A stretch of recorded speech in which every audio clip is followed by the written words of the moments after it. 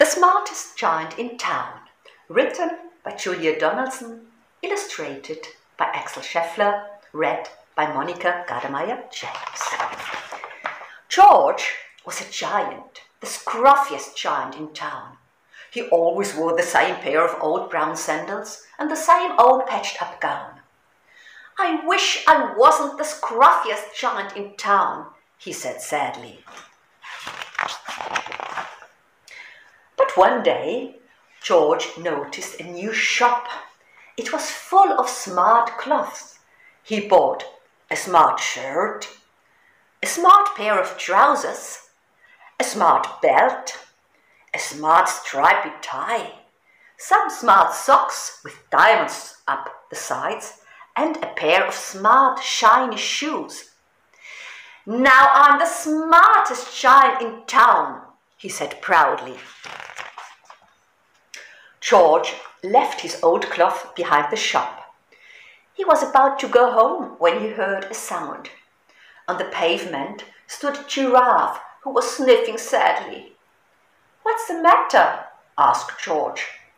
It's my neck, said the giraffe. It's so very long and so very cold.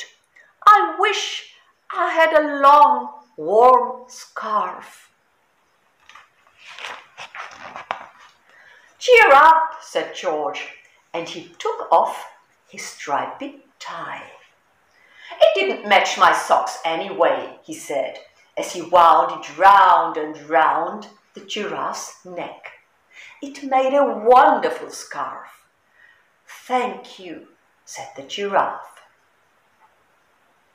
As George strode towards home, he sang to himself, my tie's a scarf for a cold giraffe, but look me up and down. I'm the smartest giant in town. George came to a river. On a boat stood a goat who was bleating loudly. What's the matter? asked George. It's my sail, said the goat. It blew away in a storm I wish I had a strong new sail for my boat. Cheer up, said George, and he took off his new white shirt. It kept coming untucked anyway, he said as he tied it to the mast of the goat's boat. It made a magnificent sail. Thank you, said the goat. George strode on, singing to himself, My tie's a scarf for a gold giraffe, my shirt's and a boat as a sail for a goat. But look me up and down, I'm the smartest giant in town. George came to a tiny ruined house.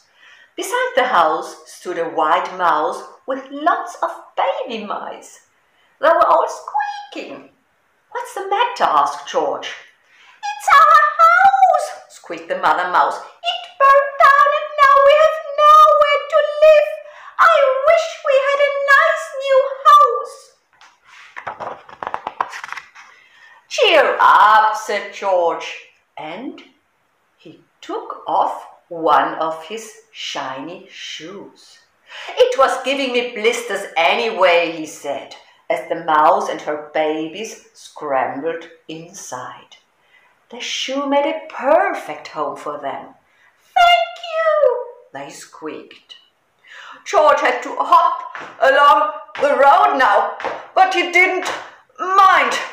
As he hopped, he sang to himself, My tie's a scarf for a cold giraffe, my shirt's and a boat as a sail for a goat, my shoe is a house for a little white mouse, but look me up and down. I'm the smartest giant in town.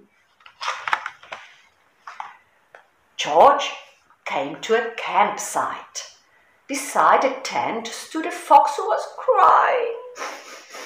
What's the matter? asked George. It's my sleeping bag, said the fox. I dropped it in a puddle. I wish I had a warm, dry sleeping bag. Cheer up, said George, and he took off one of his socks with diamonds up the sides. It was tickling my toes anyway, he said, as the fox snuggled into it. It made a very fine sleeping bag. Thank you, said the fox. George hopped on, singing to himself, My tie is a scarf for a cold giraffe, my shirt's on a boat as a sail for a goat, my shoe is a house for a little white mouse, one of my socks is a bed for a fox, but look me up and down, I'm the smartest giant in town.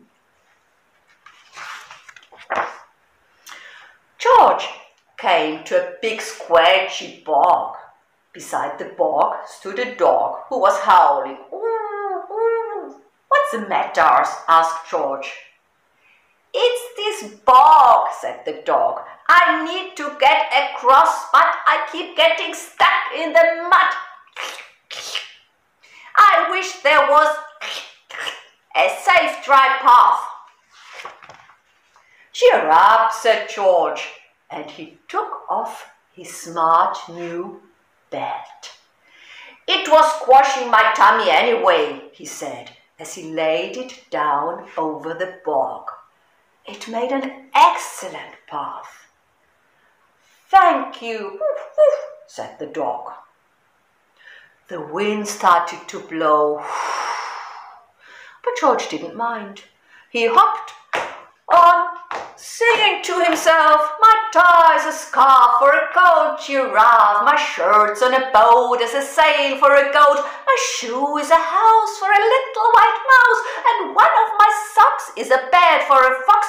My bed had a dog who was crossing a bog, but my trousers are falling down.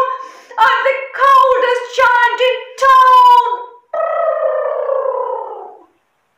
Suddenly, George felt sad and shivery and not at all smart. He stood on one foot and thought, I'll have to go back to the shop and buy some more cloths, he decided. He turned round and hopped all the way back to the shop. But when he got there, it was closed. Oh no, cried George. He sank down onto the doorstep and a tear ran down his nose. He felt as sad as all the animals he had met on his way home. Then, out of the corner of his eye, he saw a bag with something familiar poking out of the top. George took a closer look. My gown, he yelled, my dear old gown and sandals. George put them on. They felt wonderfully comfortable. I'm the coziest child in town, he cried, and he danced back home along the road. Outside his front door stood all the animals he had helped. They were carrying an enormous present. Come on, George, they said, open it.